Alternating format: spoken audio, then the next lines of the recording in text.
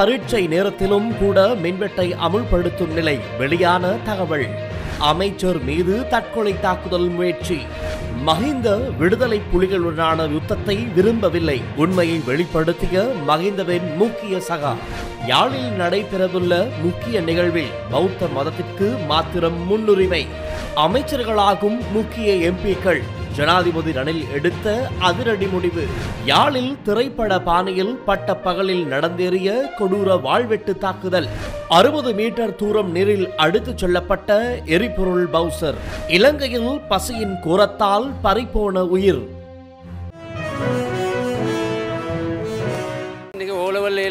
Level night current விட்டுறாங்க.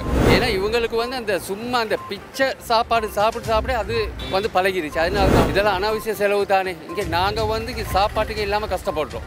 இவங்களுக்கு இதெல்லாம் தேவையா? இதெல்லாம் தேவையில்லாத வேலை. இவங்க வந்து அந்த மூளை வந்து இதாக அப்செட் ஆகிருச்சு உயர்தர பரீட்சையின் போது மின்சாரத்தை துண்டிக்க வேண்டாம் என கல்வி அமைச்சரிடம் கோரிக்கை விடுக்கப்பட்டுள்ளது. ஆனால் நாட்டின் நிதி நிலைமை பாதிக்கப்பட்டுள்ளதாக மின்சக்தி மற்றும் எரிசக்தி அமைச்சர் காஞ்சன விஜயசேகர தெரிவித்துள்ளார். அதன்படி பரீட்சை நேரத்தில் கூட மின்வெட்டை தடுக்க முடியாத நிலை ஏற்பட்டுள்ளது. குறித்த காலப்பகுதிக்கான தொடர்ச்சியான மின்சார விநியோகத்திற்கு மேலதிகமாக ஐந்து பில்லியன் ரூபாய் செலவாகும் என எண்ணெய் கூட்டுத்தாபனம் மின்சார சபைக்கு அறிவித்துள்ளதாக தெரிவித்த அவர் அந்த தொகையை செலுத்துவதற்கு சபைக்கு நிதி பலம் இல்லை எனவும் தெரிவித்தார். பணத்தை செலுத்தாமல் எரிபொருளை கடனாக பெற்றால் அது மீண்டும் எரிபொருள் வரிசையில் நிற்கும் யுகத்திற்கு வழிவகுக்கும் என்றும் அமைச்சர் குறிப்பிட்டார். இந்த நிலையில் தற்போது பகல் வேளைகளில் கொழும்பு காலிமுகத்திடல் பகுதியில் மின்விளக்குகள் எரிவது அவதானிக்கப்பட்டுள்ளது. இது தொடர்பாக மக்கள் தங்களுடைய விசனத்தை வெளிப்படுத்தியுள்ளனர்.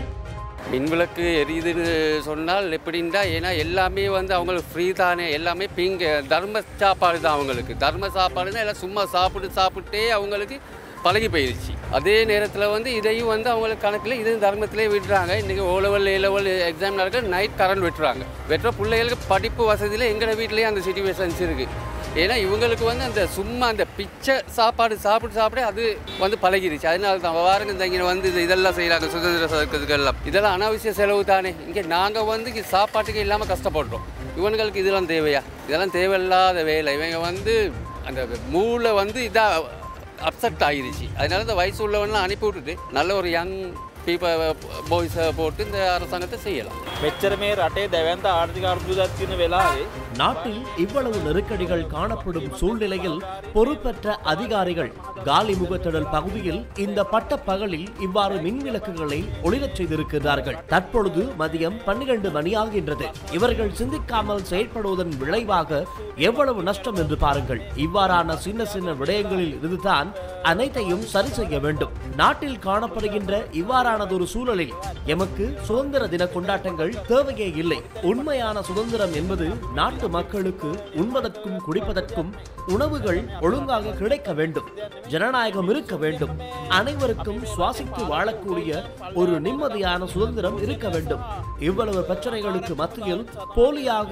வெளி உலகத்தினருக்கு காண்பிப்பதற்கு சுதந்திர தின கொண்டாட்டங்கள் தேவையில்லை මගන්න නිදහස නැතුව මේ නිදහස කියන්දේ බොරුවට අ, මේ- මේ ලෝකර පේන්න මේ වෙලාවේ මන්නන් හිතන්න සුදුසුයි කියල පවත්ත ஸ்ரீலங்கா அமைச்சர் டக்ளஸ் தேவானந்தா மீது தற்கொலை தாக்குதல் நடத்த முயற்சி செய்த குற்றச்சாட்டில் அடையாளம் காணப்பட்ட சந்தேக நபருக்கு மரண தண்டனை வழங்கப்பட்டுள்ளதாக தெரிவிக்கப்பட்டுள்ளது. இந்த மரண தண்டனையை கொழும்பு மேன்முறையீட்டு நீதிமன்றம் நேற்றைய தினம் வழங்கியுள்ளது எனவும் தெரிவிக்கப்பட்டுள்ளது.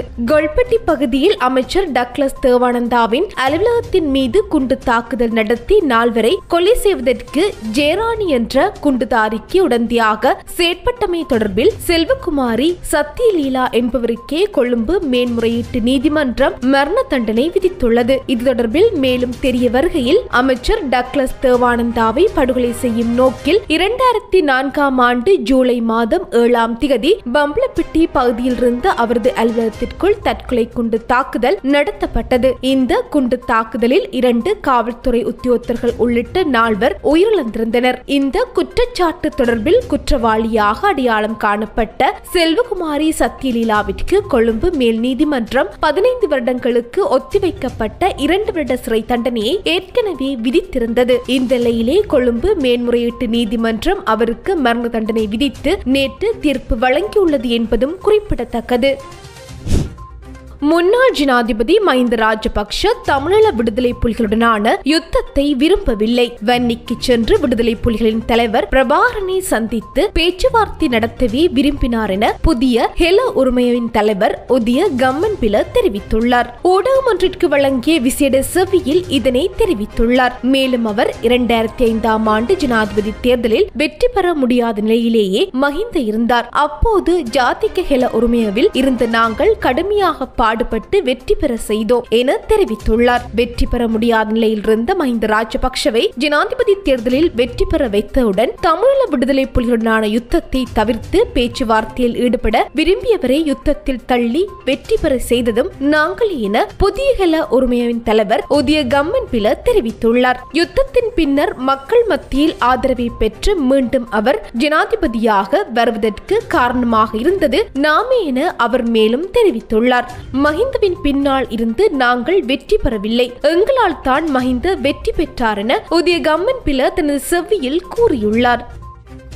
யாழ்ப்பாணத்தில் நடைபெறவுள்ள தேசிய சுதந்திர தின நிகழ்வுகளில் பௌத்த மதத்திற்கு மட்டும் முன்னுரிமை வழங்கப்படுவதாக குற்றம் சுமத்தப்பட்டுள்ளது. சுதந்திர தின நிகழ்வுகளுக்கான ஏற்பாடுகளின் போது சிங்கள பௌத்த முறைமைகளுக்கு மட்டும் வடமாகாண சபை முன்னுரிமை அளித்து செயற்படுவது அதிருப்தி அளிப்பதாக தமிழ் அரசியல் கட்சிகள் குற்றம் சுமத்தியுள்ளன. இது தொடர்பில் வடமாகாண ஆளுநர் அலுவலகத்திற்கு கடிதம் ஒன்று அனுப்பி வைக்கப்பட்டுள்ளது. சிங்கக்கொடி பௌத்த கொடி என்பன பயன்படுத்தி அலங்காரம் செய்யப்பட்டுள்ளதாகவும் சுதந்திர தினம் இன்று பௌத்த மத வழிபாடுகள் மட்டும் நடத்தப்பட உள்ளதாகவும் குற்றம் சுமத்தப்பட்டுள்ளது.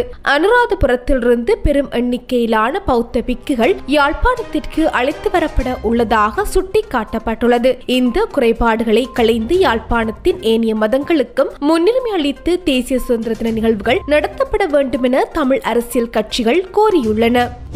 பவித்ரா வன்னியாராட்சி மற்றும் ஜீவன் தொண்டமான் ஆகியோர் அமைச்சர்களாகியதை தொடர்ந்து மேலும் மூவர் அமைச்சர்களாக உள்ளனர். S B Dissanayake Johnston Fernando மற்றும் ரோஹித அபே குணவர்த்தன் ஆகிய மூவருமே அமைச்சர்களாக பதவியேற்க உள்ளனர். ஆரம்பத்தில் இவர்களுக்கு அமைச்சு பதவி வழங்க முடியாது என்று ஜனாதிபதி ரணில் விக்ரமசிங்க உறுதியாக நின்றார். இப்போது வழங்குவதென்ற முடிவுக்கு வந்துள்ளார் என்று அறிய முடிகின்றது. பசில் ராஜபக்ஷ அமெரிக்கா செல்வதற்கு முன் அமைச்சு பதவிகளை அதற்காக பனிரண்டு பேர் அடங்கிய பேர் பட்டியல் ஒன்றை ஜனாதிபதியிடம் கொடுத்துவிட்டு சென்றார். அவற்றுள் நாமல் ராஜபக்ஷ மஹிந்தானந்த் அழுத்கமகே ஜான்சன் பெர்னாண்டோ ரோஹித அபே குணவர்த்தன ஆகிய நால்வருக்கு அமைச்சு பதவிகள் வழங்க மாட்டேன் என்று கூறி வந்தார். இப்போது அந்த முடிவில் மாற்றம் ஏற்பட்டுள்ளது.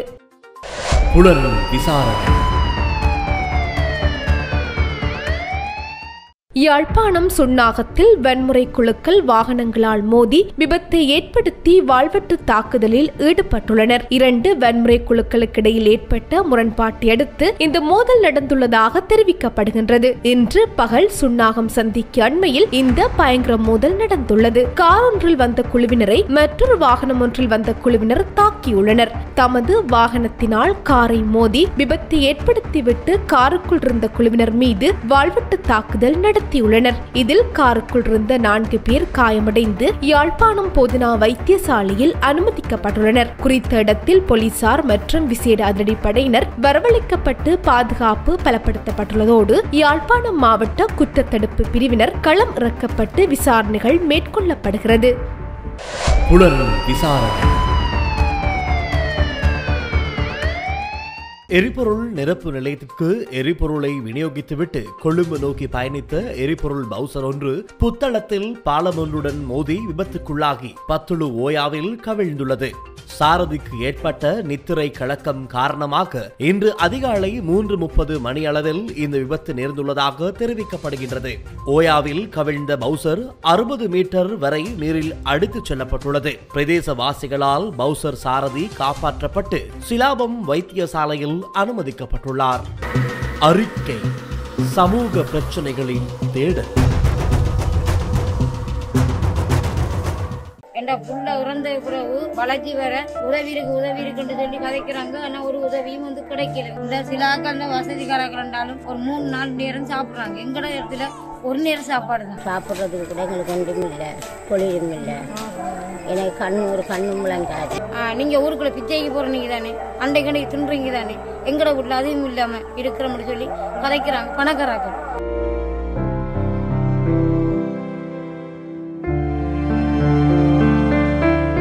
திருகோணமலை மூதூர் பிரதேச செயலாளருக்குட்பட்ட அறுபத்தி நான்காம் கட்டியில் அமைந்துள்ளது சகாயபுரம் என்னும் பேருடைய இந்த தமிழ் கிராமம். இங்கு மிக நெருக்கமாக மக்களின் வாழ்விடங்கள் அமைக்கப்பட்டிருக்கின்றன. அங்கு வாழும் மக்களின் பொருளாதார நிலைமைகளுக்கு அமைவாகவே வீடுகளும் அமைக்கப்பட்டிருக்கின்றன. இத்தகைய எழில்மிகு கிராமத்திற்குள் தான் வசிக்கிறார் நாற்பத்தி இரண்டு வயதினை கடந்த வைரமுத்து சாந்தி. பல நாட்கள் ஒழுங்கான உணவு உட்கொள்ளாத உடல் பசியை துயரத்தை ஏக்கத்தை ஒப்புவிக்கும் கண்கள் சத்தற்று சூம்பி போன உடற்பாகங்கள் என வறுமையின் மூல வடிவமாக நம் முன் நிற்கிறார் சாந்தி. ஐந்து பிள்ளைகளின் தாயாகிய சாந்தியின் கணவர் தற்போது குடும்பத்தாரோடு இல்லை. சாந்தி தன் முழு பலத்தையும் கொடுத்தே ஐந்து பிள்ளைகளையும் வளர்த்தார். இந்த நிலையில் மூத்த மகன் வீட்டை விட்டு ஓடிவிட்டான். எஞ்சிய நான்கு பிள்ளைகளையும் காப்பாற்றுவதுதான்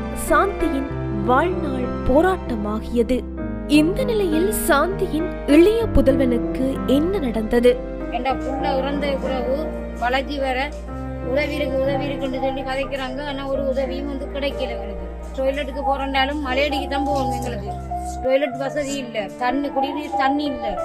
இங்கே அந்த பெய்யுற மலைக்கு கோயில் கிணத்து பைப்புக்கு தான் போகணும். அதுவும் ஆறு மணி பட்டா தண்ணி தான் பைப் ஓப்பன் பண்ணிடுவாங்க. ஊருக்குள்ள போயிட்டு வரக்குள்ள சாப்பாடு அங்க ஊருக்குள்ள சாப்பாடு தந்தா கொண்டு வந்து பிள்ளைகளுக்கு மூணு பிள்ளைகளுக்கும் ஆம்பளை பிள்ளைகளுக்கும் கொடுத்து இவக்கும் கொண்டு கொண்டு கொண்டு கொடுப்பேன் சாப்பாடு.